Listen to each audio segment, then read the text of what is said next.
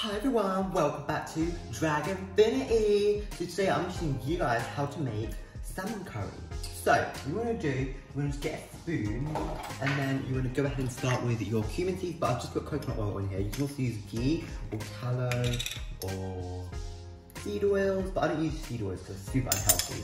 So, um, I'm just going to put a bit of cumin in, and then I'm going to go ahead and put some mustard seeds in, just about a teaspoon. And then just let that sort of cook on the oil and just let it pop. Okay. And you can also add some bay leaf. Um, I'm gonna do that when I add the onions. So at this point you can add the onions. I don't like to cook this too much because it can sort of overcook sometimes. And I don't wanna do with your onions. And then just fry it off until golden brown. Then you can add your ginger and garlic. Yeah. Okay, so once your onions look like this, then you can add your ginger and garlic. Um, if you're using like ginger paste or garlic paste, then you can add that later on because that's already kind of cooked. But I'm using fresh garlic and onions, so I mean garlic and ginger, so you want to add it now. Alright, you also once your onions are looking like this, they can look brown, you can do it more, I can't be after. So, we're gonna we're gonna add your turmeric first. Or you can do it in any order, but I'll actually turmeric first. And don't add too much. I see a lot of people adding a lot of turmeric, and you don't need to do that. It's really strong. Um, so you only want to add a little bit. Maybe that much. So you don't need to add lots of that. Really, when you add lots, it doesn't actually taste right. You might think that you're trying to make it all flavorful, but it's not. It just tastes like shit. So, now you want to add your chili powder. Now you want to do it according to how chili you like it. I like it medium chili. I don't like too much chili because it's just super bad for you, and I'm super healthy. And then you want to add some coriander powder, and this you can add more of because you know it's not. It's like cute. It's about that much. I'm not going overly crazy with the spices because you have to like do it accordingly. And then you want to add some salt, I like to have a teaspoon. You can add that more at the end anyway. And then just mix it all up. Okay, make sure you lower the heat at this point because you don't want to burn the spices. I used to like adding water to it so it doesn't like to get burned. And it also makes it nicer, like. It makes it nice and liquid. And just start mixing that all up.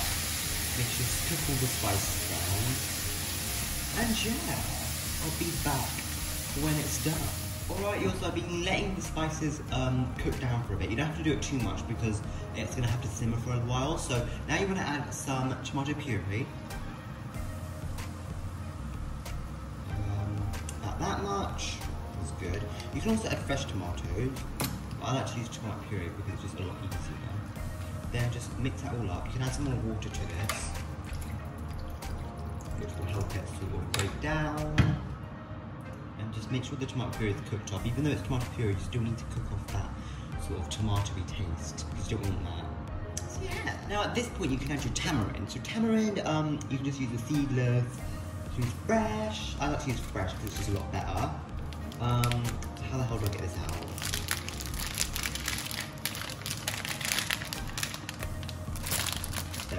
You don't need a little bit. You don't need a lot.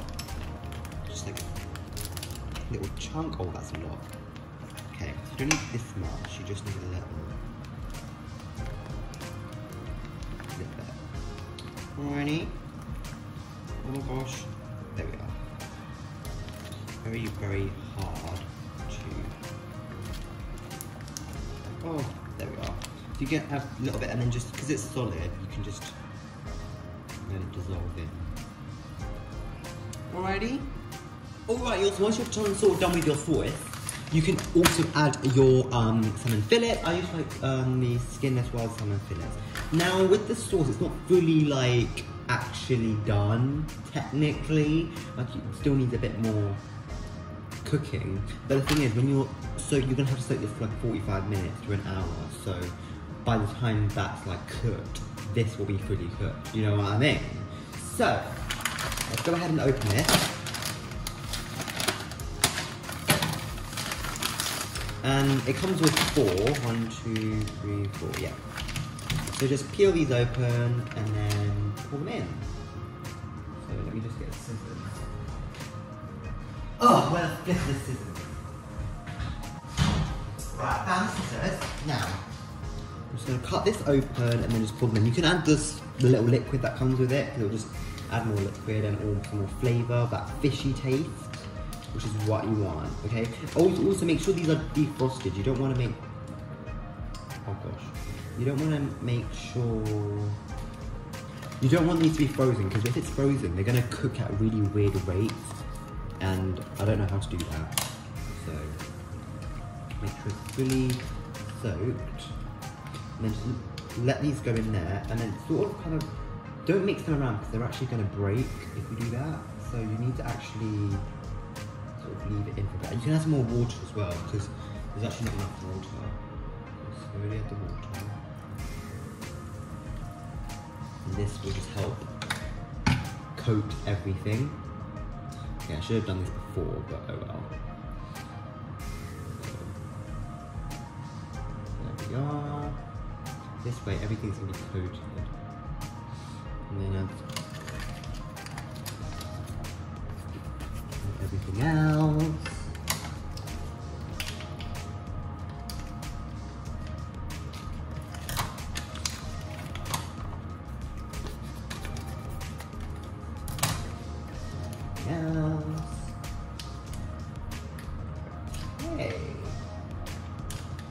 Very, very cold. Salia kuruş. Salia kuruş. Okay. So, that's looking really, really good. So as you can see, can you see the top bits are a bit pink? Oh wait, let me zoom in a bit. You see the top bits are a bit pink. That's fine because what's going to happen is is that after about 15 to half an hour, we're going to move it, mean flip it over. 15 minutes, we're going to flip it over.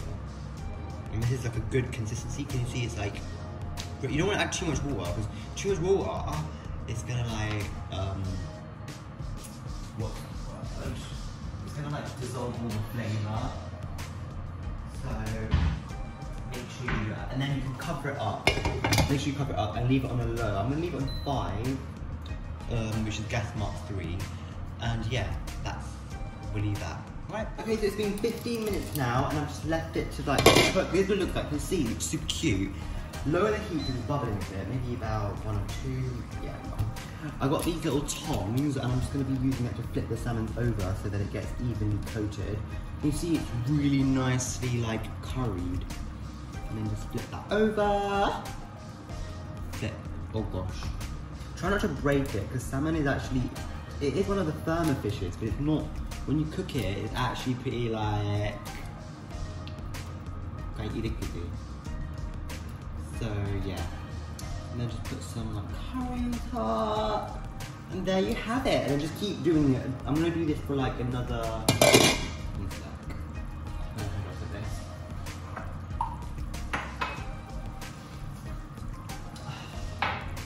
I'm just gonna do this for like cover it and then let it keep cooking for another. Alright, also it's been another 15 minutes, so it's been half an hour total. Um, I think it's looking pretty good. I think maybe, yeah, it's a bit soft still, so you don't want it to be too rubbery, but you don't want it to be too soft in a sense, you know what I mean? So maybe do another 15 minutes on the other side. Um, I think it'll be better because I think it's still a bit undercooked. So, yeah. We're gonna leave it for another 15 minutes and then I'll be back. Okay, so it's been about another 15 minutes, so it's been 45 minutes in total of this cooking, and I think it's done, so I can actually turn it off. Um, what you want to do now is just leave it to, like, not simmer, but just like leave it in the hot pan, um, and then just turn these around, um, and then just leave it in there just to marinate, basically. Okay. Just turn around. And this will just make sure that the inside of the salmon's fully cooked because you can just leave it covered like this. So yeah, thank you for watching. Bye.